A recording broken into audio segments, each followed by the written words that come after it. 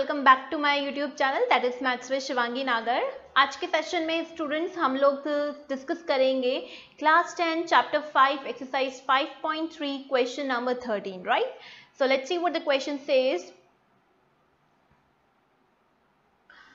find the sum of the first 15 multiples of 8 हमें यहाँ पे क्या फाइंड करना है? हमें सम फाइंड करना है। किन का फाइंड करना है? एट के मल्टीपल्स का। Now what are the multiples of eight so multiple the first multiple of eight is what 8 itself. When you add the, again 8 in the 8 you will get the next multiple of it that is what?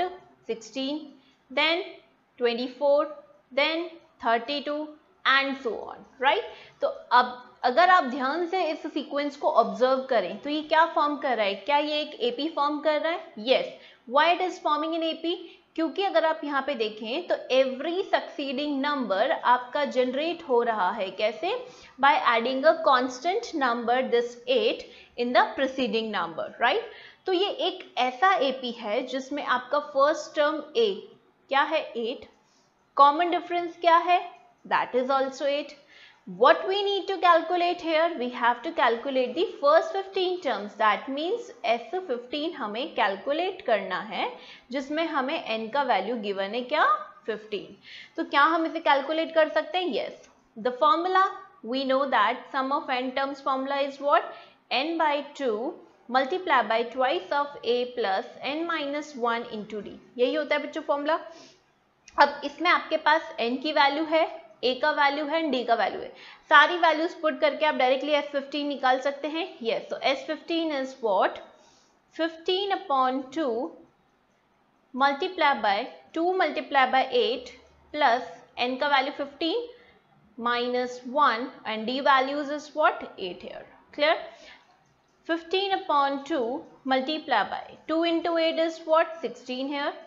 Then 15 minus 1 is six uh, no, no 14 14 into 8 here clear? अब आप इस denominator को हटाएँगे तो आप क्या कर लीजिए यहाँ पे जो भी कॉमन फैक्टर उसको बाहर आप कॉमन ले लीजिए। तो क्या कॉमन है यहाँ पे? तो 16 पूरा कॉमन आ रहा है तो 16 को हमने कॉमन लिया। तो what we are left over here is one plus और यहाँ पे आपके पास क्या रिमेनिंग रहा? That is seven here clear क्योंकि ये एट पूरा बाहर और यहाँ से फोर्टीन से एक टू आपने बाहर ले लिया। तो क्या रिमेनिंग रहा? ओनली सेवन आपके पास रहा।